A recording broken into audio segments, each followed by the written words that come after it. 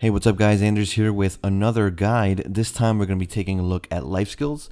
I'm going to go over what life skills are, what kind of life skills you can do, and um, which ones would be more interesting for you to invest in because um, they take a lot of time and resources. So you don't really want to be doing all of the life skills at once. You want to focus on a few at a time, especially when you're starting out. So before we get into the life skills themselves, just know there are different ranks to every life skill. Uh, you start out at beginner and then you go into apprentice, then skilled, then professional, then artisan, then master, and finally guru. Guru is very rare. I don't think very many people have guru, and if they do, it's a little sketchy how they got there. But in terms of life skills, let's start with gathering. It's the most vast of the life skills because there's so many different types of gathering. Uh, just so you know, it's an active life skill. It uses energy and the higher you're gathering a life skill level, the less energy you'll use while you gather and more side materials you'll get while gathering. Now there are different types of gathering, lumbering, mining, fluid collecting, butchering, tanning,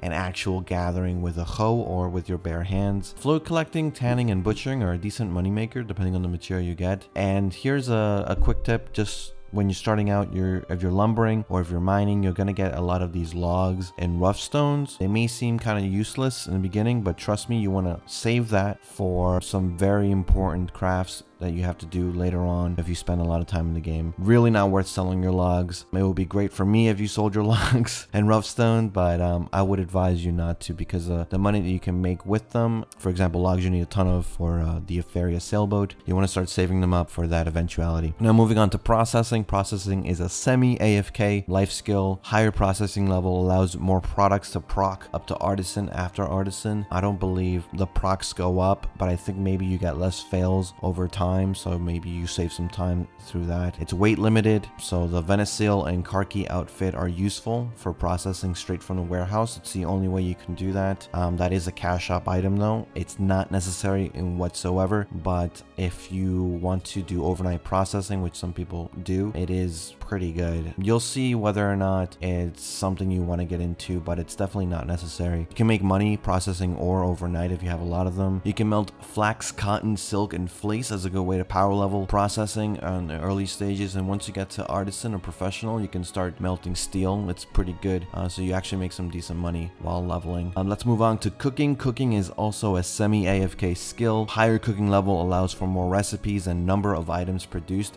as well as top quality procs from cooking um, it's a time limited life skill so basically the utilities you use and uh, the weight that you have will restrict how long you can go cooking so basic utilities are very good for a starting point.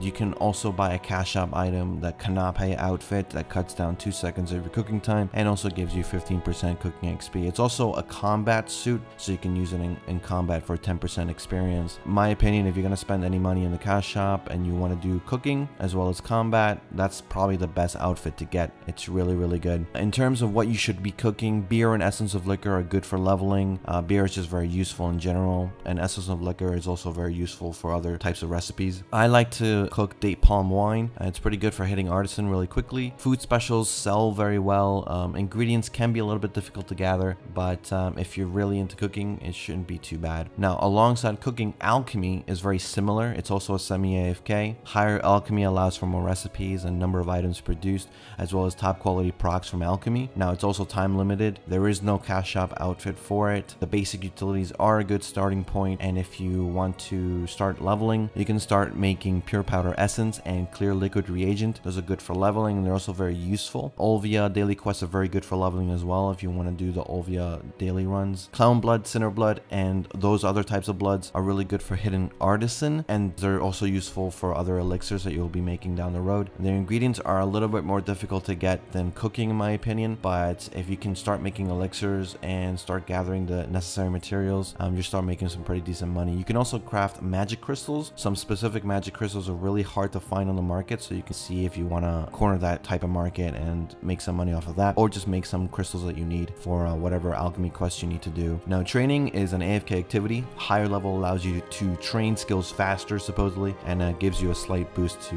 the amount of horse XP you're getting. It's a high time investment, pretty low reward, to be honest. The Venia riding outfit you get from the cash shop is very good. If you're really serious about training horses, it gives you 20% added horse XP on top of the life skill costumes you can get in the game. Uh, the merchant and noble wagons are good for leveling multiple horses at once. And one thing to note is that you need to be aware of horse killers. These are players that like to kill AFK horse trainers that are um, autopathing outside safe zones. So make sure you autopath overnight in safe zones so that you're not getting killed by these assholes. Now, horse breeding is buffed recently, so you can uh, probably get tier 7s and tier 8s a lot easier, but the horse value is dependent on the tier and the skills, so certain skills will give a horse a lot more value than other skills. There's horse racing as well if you want to get into that. It's pretty unpopular, but it has some decent rewards if you want to get into it. Now, fishing is probably the most used life skill, I think, because it's so easy to do. It's AFK. You can use energy to do a hard cast, but you wouldn't really really use that normally. Probably you're going to be um, AFK fishing overnight or whatever, so you're not going to be using energy. Higher level allows more fish types to be caught, as well as the use of more fishing rods and a chance for durability consumption on rods to lessen. You can pretty much start fishing as, as soon as you get to Velia. You can just buy a fishing rod. I believe there's a quest that even gives you a fishing rod. River fishing, uh, so Heidel, Calpheon, Tarif,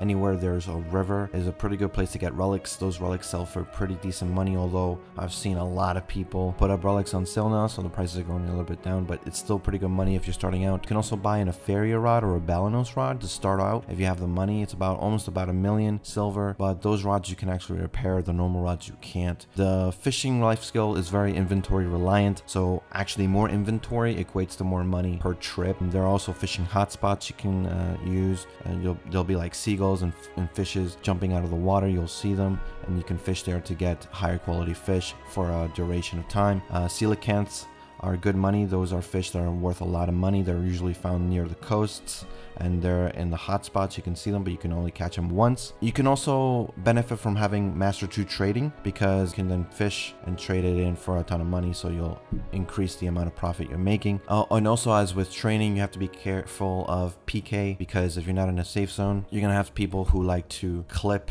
their boats onto you while you're fishing and then kind of drag you over to the middle of the ocean, just kind of leave you for dead. There are people who just straight up kill you if you're not in a safe zone. But you know, just the usual bullshit. Uh, so just be careful if you're actually fishing overnight. Just make sure that uh, you're on top of something and that you're uh, actually in a safe zone. Now, hunting is an active life skill. You use energy. Its higher level seems to allow more muskets to be equipped like fishing. It's really slow to level, unfortunately, but it recently got buffed. We have more hunting options near Balenos Mountains and stuff like that. Uh, there are actually bosses that you can hunt, like Culk, which will appear throughout the world, uh, and whales that will appear in the in the in the sea. But those require hunting groups, so it may be hard to to find a group from time to time. If you can find a group and you can kind of establish yourself as a hunter, then it's pretty decent money at high levels. The devs are really pushing hunting hard, so I think it might actually end up being a very good life skill in the long run. But for now, it's not that good.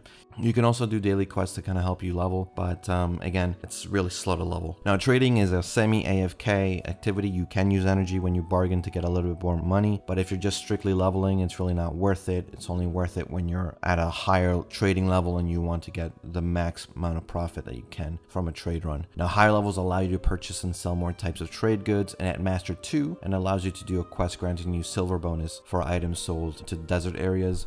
It's pretty slow to level. It got nerfed and then buffed frequently depending on the exploits. They kind of go between nerfing and buffing them. Junk crates are really popular. What those are essentially is you take a junk item like iron ore and you take a ton of that and you take blackstone powder and you make a crate out of it. It's not very efficient to, to level, but it's an AFK way to level. So once you have a ton of crates, then you can do one huge turn in to level yourself all the way to Master 2. It takes forever I wouldn't honestly recommend it unless you're already established and you have money to, to go around. The normal way takes a lot of time, but it isn't actually terrible and you're not really losing a lot of money. I guess you are losing time, which is money, but if you're casual about it, it's not too bad. The higher your trade level, actually, the more money you make from trade items. There's also rolling method, but that's really boring. It's the most boring way possible. I wouldn't recommend it, but if you want to look into it, go go ahead and see if that's for you. Trading is only useful really if you make your money from fishing or you like to do trade runs or or even if you grind at pirates because a lot of the drops that you get are trade coins which you can then turn in with the Master 2 buff to get a ton of money. And now farming. Farming is an active life skill. It's energy dependent. The higher level you have of farming, the less energy you consume every time you prune and gather crops. It's a good source of income. It's a good source of hard and sharp crystal shards. It's actually the only way to get milk aside from the minigame and quest. Uh, top quality fruits and vegetables sell well because they cut down on material needs for cooking and alchemy. It's also good to couple farming with alchemy and cooking um, because you can get a lot of the ingredients you get. And for alchemy especially, you get a lot of weeds, which is really, really good for alchemy. It's a bit tedious to manage, so it's a lot of positives, but the, the main downside is, is very tedious. You have to manage it a lot. You can send workers to manage your crops, but you won't actually receive hard and sharps, and you won't actually level your farming life skill. So my suggestion is to just level it up to whatever level you want, uh, and then just send the workers so can just focus on purely making money and not just leveling. Now the final life skill that we have currently in the game is sailing. Sailing is a semi AFK activity, doesn't take any energy, and the higher levels allow you to have more skills on your ships. It's difficult to level at the time. Um, you also need a, a vessel to, to level, so a fishing boat, even a raft will be fine, or a sailboat, of course, will be will be the best. Daily missions in Port Ratt actually help you a lot. They give you a big boost. You can only do it once a day, but it's a big time commitment because it'll take about an hour of real life time to complete, depending on where you want to hand in the item. Only ocean counts for leveling, so just because you're sailing the seas, that doesn't count for towards the sailing skill. It will probably become more relevant once the Hasso region is released near uh, Port Ratt, so that's pretty much what you have to look forward to. Sailing is kind of dead right now, but I would just slowly level it up if you want to be a serious ship captain in the future. At this year's Oasis Festival, Pearl Abyss announced that we would be getting climbing introduced as a life skill that would possibly allow you to scale castle walls at high levels. Uh, also art as a life skill allowing you to create your own paintings and pottery for use in the game. Uh, not much more info apart from that, but we should be getting more info at the end of the year. Now that's pretty much the comprehensive introductions to every life skill in the game. Hopefully this was useful to you to get an idea of what the life skills do and what could be appealing to you. I do suggest you try all of them. They're really fun. If you're not really crazy about optimizing your gameplay, doing all of them is still okay. Although I do still suggest you focus on just a few that maybe complement each other if you want to be serious about making money. now sorry if this audio was a bit off. I'm, I'm a little sick right now, but I wanted to get this video out for you guys. Let me know what you thought in the comments below. As always, you can find me on Twitch at twitch.tv slash andersxiv. You can follow me there. And once again, thanks for watching. Thanks for listening, and I'll see you in the next one.